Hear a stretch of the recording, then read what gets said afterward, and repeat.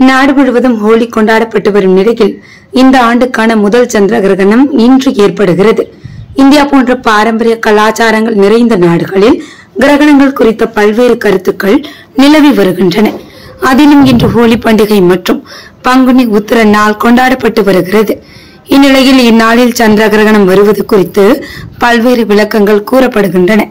பங்குனி உத்தர நாள் மற்றும் ஹோலி கொண்டாடப்படும் போது சந்திர கிரகணம் ஏற்படுவது மிகவும் அரிதான விஷயம் எனவும் இதற்கு முன் இப்படி ஒரு சந்திர கிரகணம் நடந்து நூறு ஆண்டுகள் ஆகிவிட்டன எனவும் கூறப்படுகின்றது.